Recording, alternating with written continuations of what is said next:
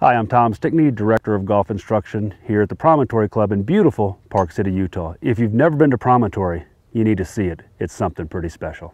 Promontory is a 10 square mile, multi-generational private club in the beautiful Utah Rocky Mountains. The Ranch Club compound features several of Promontory's award-winning amenities. The Ranch Clubhouse includes a luxury spa, fitness facilities, pool and hot tub, and a phenomenal tennis center. Now that I've brought you up to speed on everything Promontory has to offer, it's time to get serious.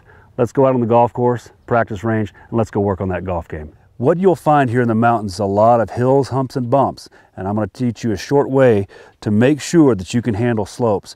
Right here you can see I have an uphill, side hill lie.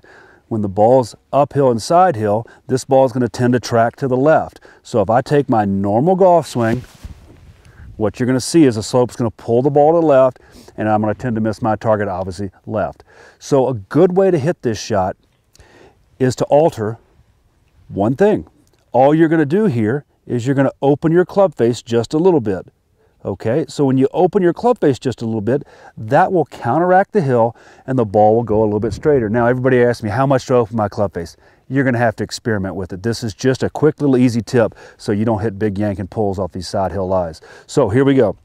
We're gonna set up just the way we do normally. This is square, we're gonna open the blade a little bit, and then all I'm gonna do is make my normal golf shot, and when I do that, that ball go a little bit straighter. So here we go. Set up, open the blade a little bit, make my normal golf shot.